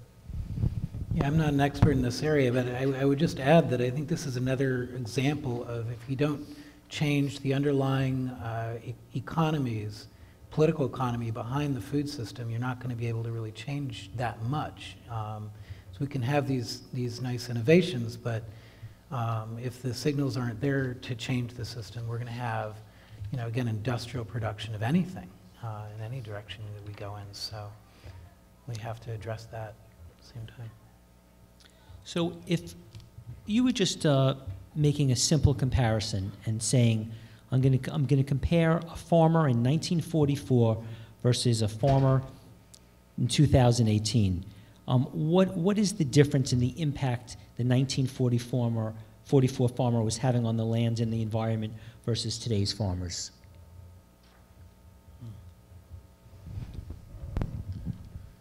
I think we touched on that a bit earlier, but um, the 1944 farmer did not have a huge amount of technology at his or her disposal.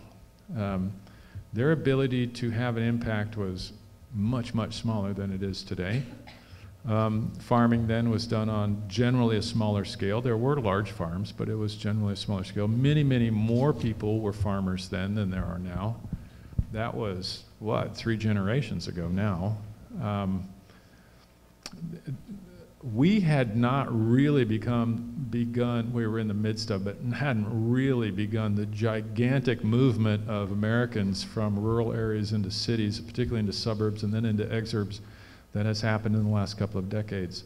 So that world was a world that well my friends all grew up in that world when, in, when i grew up in california. Um, The, and I know that my friends in the last couple of decades have sold their farms to corporations and then they went to work for the corporation. And part of that problem was that they can't afford the machinery, among other things. They can't afford to drill a new well. A new well in my area in California, and this was when I was there in it, so it's been a while, was $50,000. You had to put, have a $50,000 bond with the bank before they would lend you the money for that. Um, and and the water level was dropping rapidly, and that was then. I don't even know where it is now. Um, so the world then was really, really different. There, we didn't have the tools that we have now that that we can bring to bear on in agriculture. So this is just now is a, a different world. Our ability to I don't know if you've seen some new farms being produced, an area that hasn't been farmed before. I've seen it in California a lot because they converted most of the coastal foothills into vineyards in the last couple of decades um, because of the market for wine, bad wine mostly.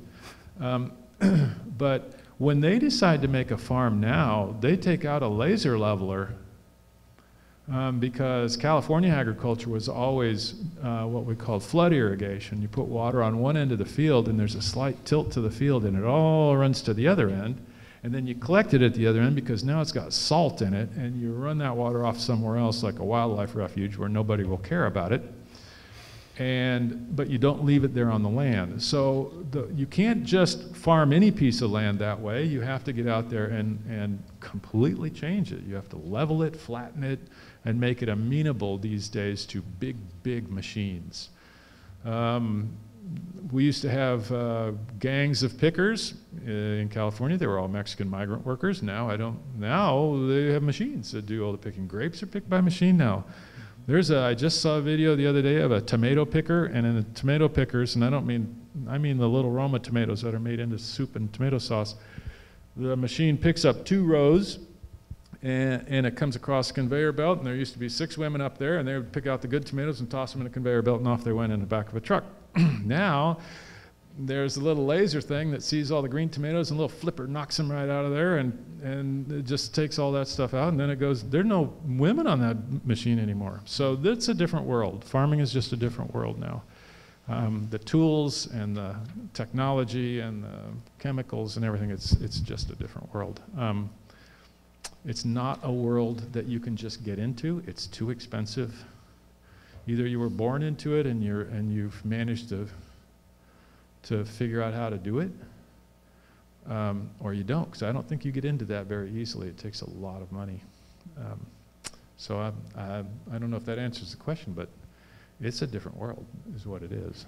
Yeah. I'll, I'll just add a little bit to that. I mean, I think that you know, we don't want to romanticize what farming in the 1940s might have been like or, or was. It was hard, hard work, but uh, you know, it's always been hard work. But there's some tremendous differences in terms of um, many things he's just mentioned. You know, the pesticide load was hardly anything at all. Pesticides were just starting to be um, sort of pushed onto the system more, but it was, very, you know, more and more. Most farms were still operating in a mostly organic fashion. Um, Land was much more accessible to purchase, of course, much cheaper. Uh, it wasn't in as much competition with development for uh, accessing land. We have to remember that, like, you know, real estate development and expansion increases the cost of farmland as well. So, and then if a farmer can't can't afford it, somebody else will buy it and develop it. So, you know, those factors go in. Also, uh, the subsidy system was, was barely just starting in its first iterations. It started in the 1930s as a, an emergency sort of crop support system, and that was just still coming online. Um, there was more of an opportunity for farmers to diversify. In fact, most farmers had diversified production, so their soil was much healthier, not only because it hadn't been exhausted by uh, chemicals and fertilizers and pesticides for all these decades, um, you know, not to mention tractors, um, but and plowing, but but also just that you know they were rotating their crops and they had diversified production. If they had animals on their farm, they were often part of that cycle of life. Um, they were feeding their own um, some of their own food to their farm, to their animals and then the animals would feed the land. So there was much more of a natural systems cycle. And the biodiversity surrounding the farms was in much better shape, much stronger um, than it is now. And that, in turn, as people have spoken about, feeds into everything from pest control to pollinators to the rest of the ecosystem's health. So, uh, you know, some things might look better now. I would say that on the whole, I would prefer a farm from back then. Um, yeah, it's, it's in pretty rough shape where now. So regarding pollinators and bees and bugs and insects, what is going on with them? And is this something that we need to even be thinking about? Is this a concern? Anything changed with insects and pollinators in the last 50 years? And do we need to be concerned about this? Well, e- even where I live up in Canada, there's been a big decline in uh, bee populations. Um, mostly due, it looks like, to the new type of insecticide, uh, neonicotinoid. How do you pronounce that? Neonicotinoids? Uh, neonicotinoids. Those ones. Um, also known as neonics, uh, which is easier to say. Uh, so it's a class of uh, new type of uh, called systemic. So the uh, actual toxin, much like a GMO, is actually in the plant. It's actually in the seed in this case. And when the seed grows, the plant contains the toxin. Um, this gets into the water, gets into the soil. It kills a lot of different insects. It's affecting earthworms. It's affecting a whole range of uh, species it's not supposed to. Um, so this has been a huge issue. It's been banned in uh, much of Europe. Uh, parts of Canada have now banned the use. I'm not sure what the status is here. Yeah, I, I can just add a little to that. I mean, it, you know, the pollinator crisis is uh, of huge significance to our food system and our ecosystem. Um, they pollinate, you know, apples, they pollinate fruit trees, they pollinate uh, tons of different plants. They also replenish and pollinate just the, the surrounding ecosystem around a farm. Um, so that also uh, speaks to what is the pest environment around the farm? What is, what is the bird environment around the farm? I mean, these, all these things are connected. Um, you know, I've done a little research and work on how the petrochemical industry has, like led by Bayer and some other corporations, um, has been pushing back on any pollinator reforms. And so they've been uh, really stifling attempts in the United States to ban neonics, as they're called. Um, so efforts across the country, we did a report called Buzzkill. Uh, Friends of the Earth, I work with them, did this report looking at how across the country the industry was uh, gumming up the gears of reform in legislatures across the country by not, not always just even opposing it, but just talking about how complicated the whole thing is. And they blame, um, uh, what are they called, Varroa mites, I think. There's these other, you know, they come up with these other excuses. I'm not saying that there's nothing there to their explanations, but they're great at producing all this, all these um, reports talking about how complicated, you know, first they denied there was even a pollinator crisis. And then when that was undeniable, now they, their whole strategy has been to muddy the waters uh, and they've been doing it very effectively. I wondered if anybody knew- I wondered if anybody knew what percentage of, for instance, the California water problem is, is engendered by Nestle's, for instance, who is getting paid to uh, take the water out of California, put, bottle it and sell it all over the world, and whether there are any local um, whether there's any local resistance to it. Uh, does the governor have anything to say about it? Who passes laws about it? Now, that's a, a Swiss or French company, Nestle's. And the water's going all over the world, and farmers in California need water. Where's the balance?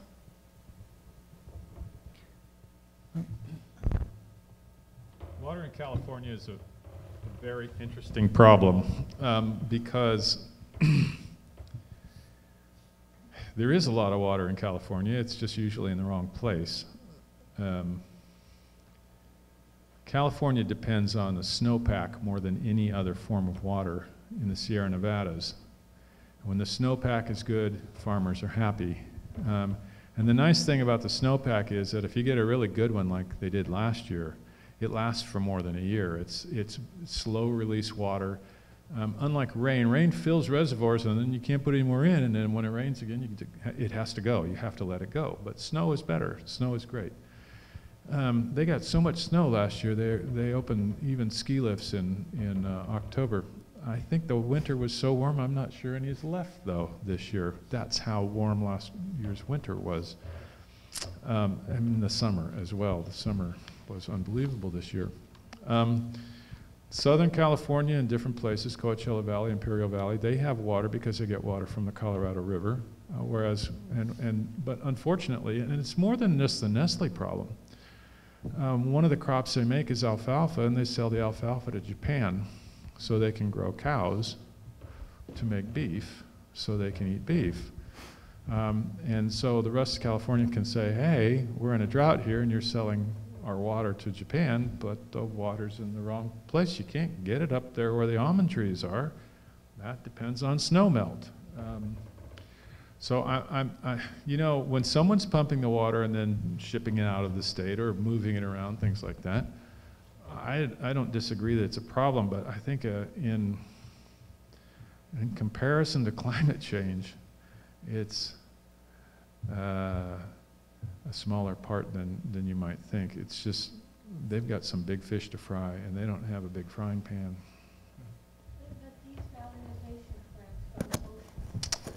Desal is an interesting one. Go. Yeah, well, um, desal works. Uh, a lot of uh, countries in the Middle East, that's what they use. Super expensive, uses huge amounts of energy, uh, creates uh, pollution.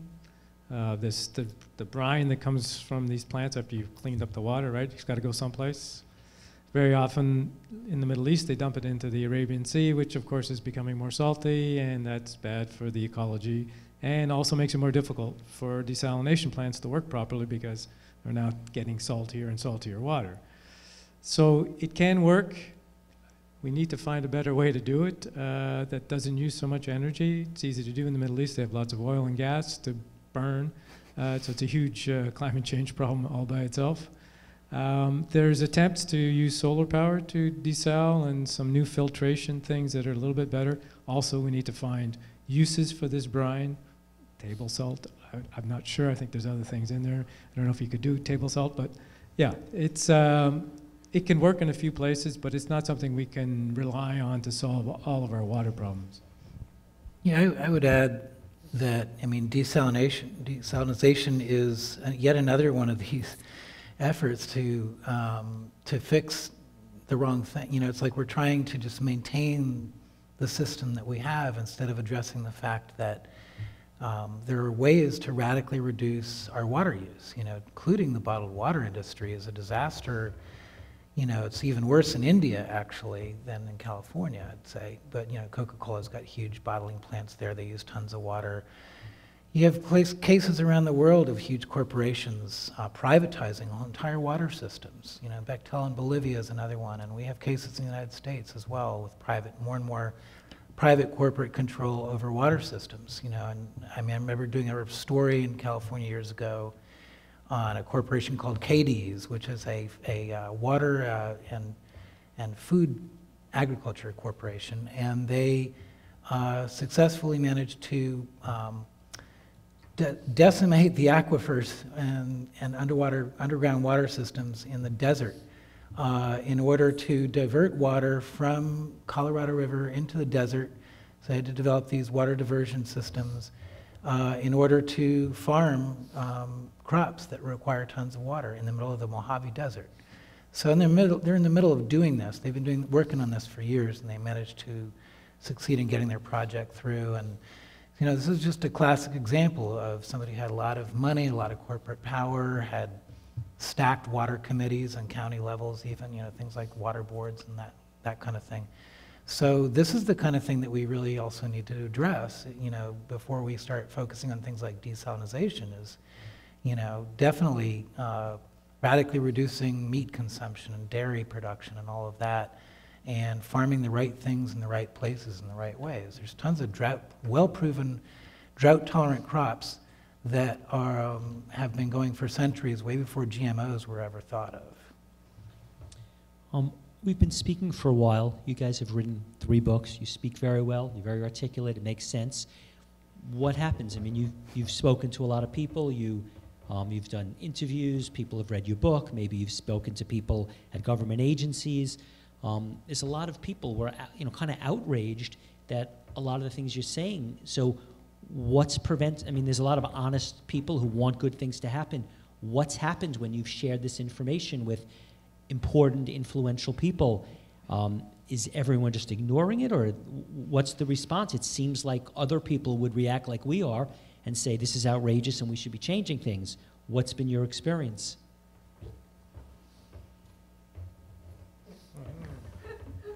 Uh, Well, I didn't want to hog the mic, but I guess I'll get, uh, all right. I mean, I, you know, I, it's interesting. I, you know, I mean, I mean, I think that things, you know, I spoke earlier about this. I think things are going in two directions at once. I think that knowledge and awareness is expanding in some really tremendous ways, and I think that alternatives, I hate to call them alternatives because they're really more like what we used to do uh, in agriculture and farming are rising up, uh, and programs are rising up to gain access to those, whether it's urban farming or, uh, you know, farm to school programs, farm to hospital programs, all these other kinds of things that try to like connect those dots with sustainable production, people in need of good, healthy food, without doing large-scale industrial agriculture that pollutes the planet. So these things are happening.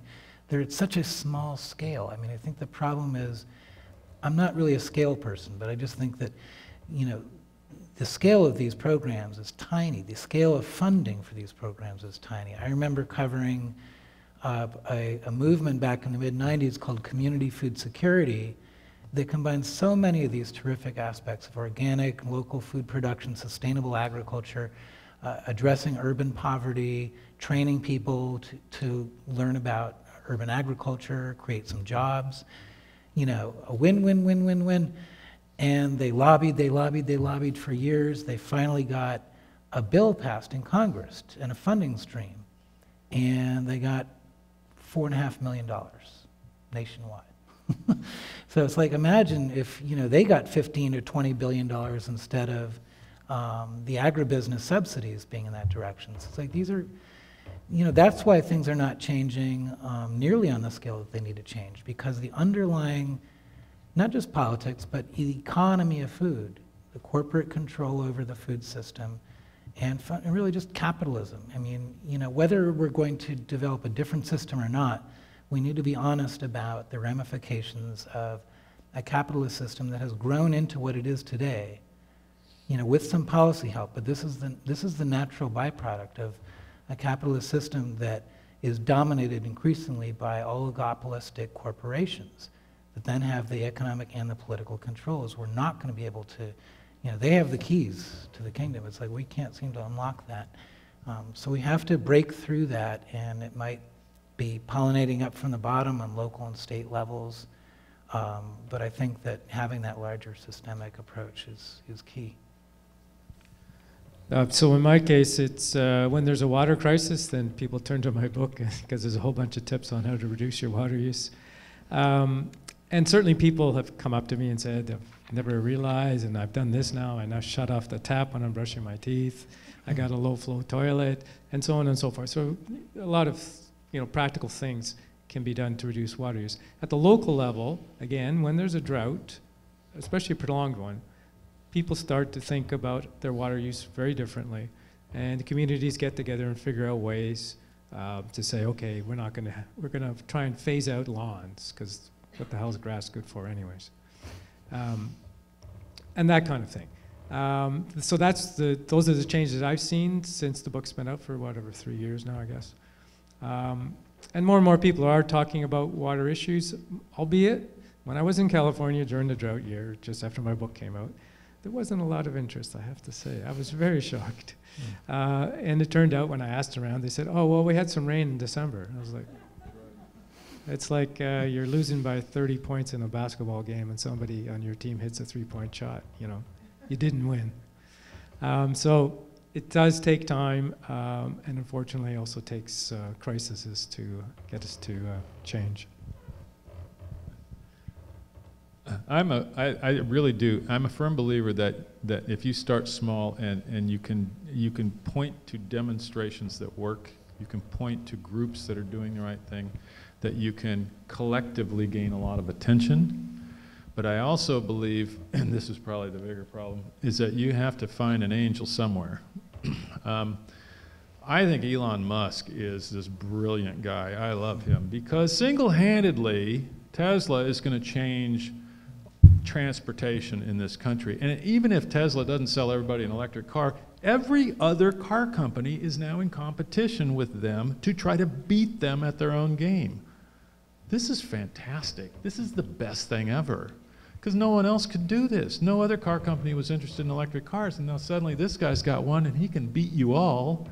Everybody loves his cars, and it's faster than yours, too. and now everyone wants one, right?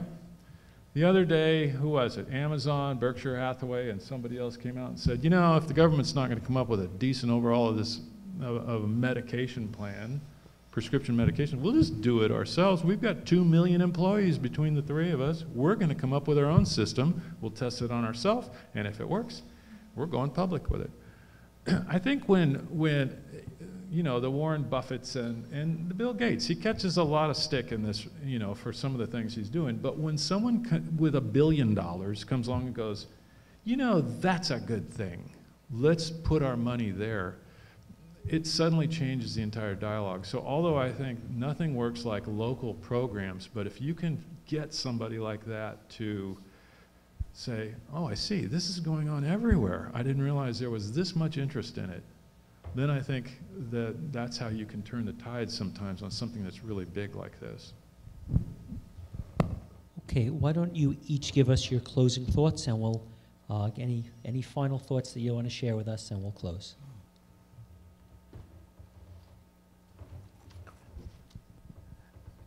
So, on the water thing,